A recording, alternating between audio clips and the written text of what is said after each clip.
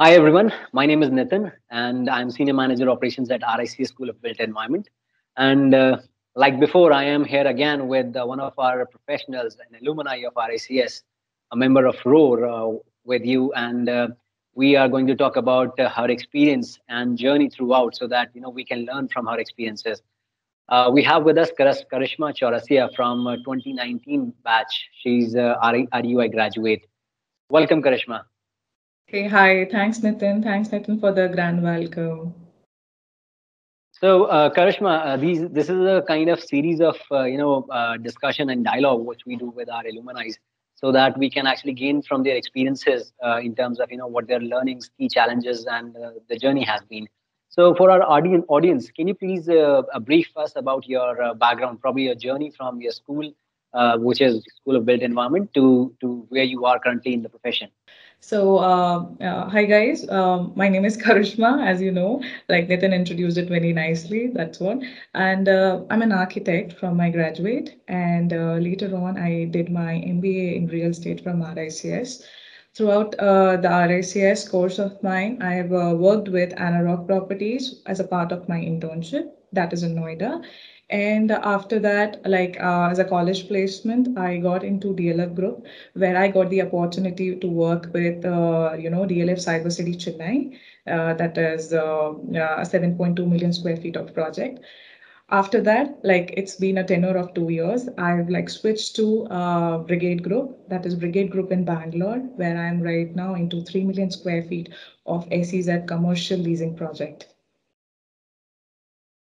Good again uh, moving in from south to south down south. So uh, you have been into commercial uh, you know uh, throughout. Uh, can you help us understand what's what are your roles and responsibilities during during your you know uh, period of experience? Or probably you, you can talk about your day at work you know in a normal course of life so uh, when i talk about as my starting journey uh, i like to take you all towards like you know uh, from dlf to uh, moving my career towards brigade. So as a as a beginner you know i never thought of of this thing that whenever i go to any organization so should i think like of a, how many hours should i work? What will be my salary? What will be my package? No.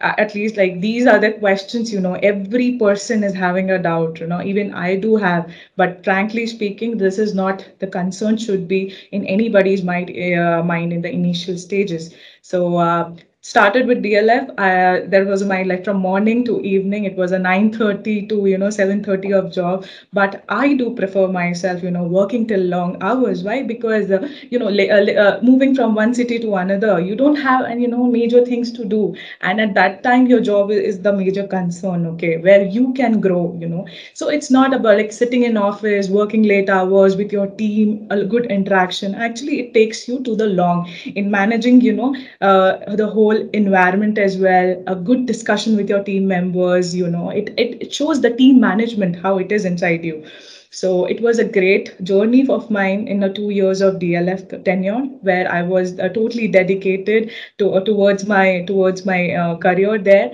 And thereafter, uh, recently, like one month ago, I have joined in 2021 um, uh, with Brigade Group uh, in Bangalore, where I am too taking care for the commercial sales and leasing department. The same what I used to take care into DLF, where there was my role as a business development into leasing, where you have to, you know, uh, like uh, keep tap on the market, how the market is performing, and then you have to go ahead with the clientele you are approaching and how you take it forward. Being an SEZ campus, SEZ uh, like is was or is was always there into my portfolio as you have seen. So right now into Brigade also, I'm just taking care of 3 million square feet of SEZ sales and leasing. Let's see how it go forward. Good, nice to hear that. And again, you know, uh, it might require a lot of, uh, you know, uh, skills there. You know, you talked about research, you talked about, uh, you know, these million uh, square feet. You might have to, you know, go on onto the rounds, try and, you know, work it out with the individuals, staff, uh, probably client meetings.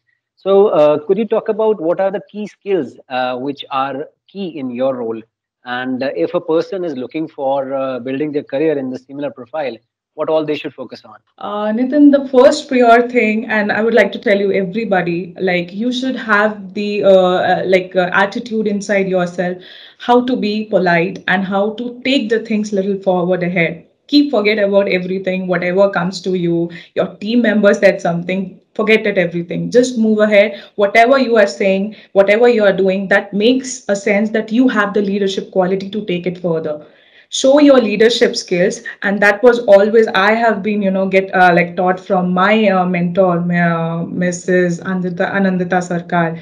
She always uh, have uh, like uh, built this kind of thing inside our during our study time that how a leadership things can you know take you forward towards your career right? So my superiority one one thing was always there in dlf and right now in brigade also. Take leadership for everything you can be a good initiator and can be a good taker throughout a long but you know taking a leadership is always that matters and take you in the front edge one more thing I want to mention here. I want, want to thank my all the mentors who have so far guided it, uh, guided me throughout my career, my uh, my office tenure. You know, I came here who have supported throughout in my journey. And you know what, the humbleness always, you know, appreciated in that way. What they have shown towards me. You know, I would like to take the name of few people. Mr. Amit Grover, who was the like uh, executive director uh, of DLF um, he's one of the key factor like i'm really thankful for him to uh, you know support in my career and give me the opportunity to explore whatever the key features where i am having the expertise in Okay, I would like to thank Mr. Amit Singhal, who's the MRICS. Uh, he was my uh, one of the mentor who have guided me throughout my journey and have the faith on me that yes, I can do this. I can do this right? I would like to thank uh, to all the RICS faculties of mine, uh, Shiv Prasad sir, who have made me very strong into valuations and, you know, have always guided me wherever I do mistakes, always supported me. No, you're doing wrong. I want, I want to thank Mr. Tribhuvan Prasad, who have just guided me for, you know, into strategy planning because we were mm -hmm. not able to know anything, how to take it further, you know. So thank you everybody for for so far in my journey. Thank you so much. Appreciate your you know uh, your uh, gratitude toward the faculty members. And again, uh, there have been you know multiple of um, uh, those those kind of individuals at various stages of our life who have groomed us. So uh, good, to see that you know that piece of gratitude coming coming from you. So uh, you know, uh, with, within your experience of uh, these many years, there have been some you know you know upturns and downturns. So could you also talk about what have been your uh, you know key learning areas uh, or experiences? Probably you can quote certain examples wherein you had an opportunity of uh, you know learning which you can share with our audience. Nitin, I would like to talk about here and uh, want to share my experience with all the audiences over here.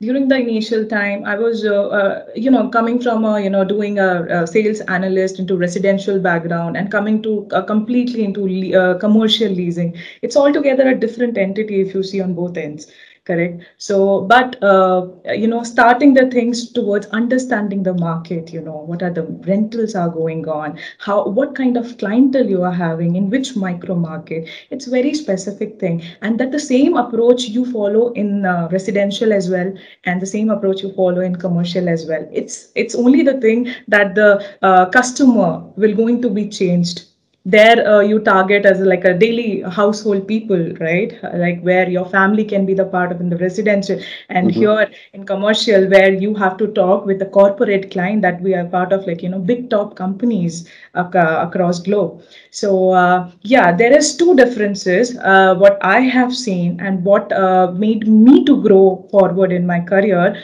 That is when you talk to corporates right it would be very uh, you know straight what you are asking for that has has to be there right? How the corporate are placed what are their strategies of taking their business go growing forward which micro market as i mentioned where they are located hmm. right? So these are the point where i used to in the beginning of my career you know jotted down. Where are their headquarters located? What kind of business they are working into right? And that actually took me towards like okay fine I can uh, tap into this company. This company is looking for this this million of square feet. Okay, fine. This is the probable good solution. What I, I can offer to my client. Correct. So if your background research, background database is not as as built right you can't you know go and have the you know leverage to talk with your client hey what are you looking for can i able to cater your requirement like that right that's again a wonderful wonderful piece of you know uh, thought or experience sharing because you know that's that's a very very uh, key area that you know you need to do your homework all the research and you have to have key speaking points so as to you know uh, build up that conversation with the client and win that kind of uh, probably you know uh, arrangement so that you can get a deal for your organization and and uh, you know get get forward with that. So uh, nice to hear that on your experience front. Now while uh, you have been into this role, I, I wanted to talk about uh, was it a choice that you uh, you know uh, thought commercial leasing as, as your uh, you know pathway for for career, or uh, it, it just happened by through the placement, or this was the you know opportunity that you get in. So what I'm trying to ask here is that being a civil engineer, sorry, being an architect, did you had this thought in my mind that this is a direction uh, my career needs to take take uh, forward, or uh, it, it happened by by you know the as as the opportunity came in. Uh, to answer your question, uh, I would like to take you from the background of out of it, like why I am into leasing. Okay, being an into mm-hmm. architect profile, why I've gone into this. So from the early stages of my career only, when I was uh, like doing this architectural internships and all that, I always wanted to be on the you know front edge, want to lead the things, you know, want to talk directly with the client, right? So um, on the initial stages, you will not get. I understand uh, looking at these things like how the things are going outside uh, you might have not got that uh, like you know uh, advantage or opportunity you can say. But throughout the things you have to decide what you want to do down the line. So there i thought like i have i'm a person who's also made apart from designing that is mba into real estate right? Where mba student is getting the leverage to you know come forward and talk to people so i'm always having this kind of you know a kind of trait inside me. I always want to be showcase my thing. I want to talk a lot. So where communication plays into action you always want to be into that field which can you know take you up rather than you don't right. work towards uh, it a lot. You don't want to you know uh, like uh, give a hundred percent towards it. To identify what exactly takes you a little further and then take it as a career to grow I found it while working in as, as a sales analyst into uh, residential for Anarock. I, I I determined myself no, actually I can have a you know better communication with the people. I can negotiate it well. I can communicate well. I can make them okay fine. This if not this project, why this project? Okay. So from there the things got built up, and from there I switched from residential to commercial leasing and there i switched to all my clients as well. And then i realized it's a normal talking where you ha- have to showcase the positivity inside your product. Okay if you are positive you can make others also to feel positive about your product. That's what i did so far right? And only the product is changed. That's totally onto you how you take your mm. product and present it in front of client right? So this is what my right. was thank you very well brought forward. Actually you know you you uh, made me recall the movie three idiots again. You are mapping your key skills with or probably the passion with your career. And again mixing that well is something that you are uh, being at the right place uh, and you know you, you really you really don't feel uh, the job as as a work. It's, it's, part of your life that way. So uh, well uh, it was you know hell a, a, hell amount of, a big amount of experience that that have been you know we have we have been able to call out during this kind of discussion. One last uh, piece of uh, you know advice I would seek for our students who would be graduating probably this year or probably who might have already graduated what is the piece of advice that you may want to give them in terms of uh, you know career growth and uh, uh, seeking opportunities uh, for the students who are right now pursuing into our uh, RICS and who are like about to graduate from RICS, there's one piece of advice what I want to give. I know, um, like people are very concerned, as I mentioned in the starting of my, you know, uh, like speech, that we are very concerned about job, where we'll get it, how much package we'll get it, and all that. But frankly speaking, you guys, like RICS is a platform just because of the name, you're getting the things in the market believe me if you're having the potential you're having the name of rics you can do anything outside rics And the second thing, don't be very concerned about how much package you are getting placed. Down the line, you can grow. You can grow. And you know what? I'm not saying it will take nine or 10 years to grow. No, within two years, you can prove yourself in the market because uh, RICS is giving you the platform on the global level so I would like to suggest everybody stop being very concerned about what will happen to me and my career. Okay, after RICS, uh, if the market is not performing, market is not good and all that, just forget about it. Just start doing what exactly make your interest grow if you're having interest into sales if you like to talk with people go into sales try to come forward and take an initiative go into it. If you like to put your thoughts into something go into strategy planning. If you like to be into kind of a construction and all that choose your line as per that. So i would always suggest listen to your mind what it is allowing you that yeah this can be a best suited a fitted thing for you. And then go ahead. Sure very well said and nothing best could have been you know offered at the moment. And uh, believe in yourself and uh, go with the passion or the skills or the, or the experience that you may have. And uh, sooner or later things will work in the in your direction is is what has been uh, you know recommended by karishma.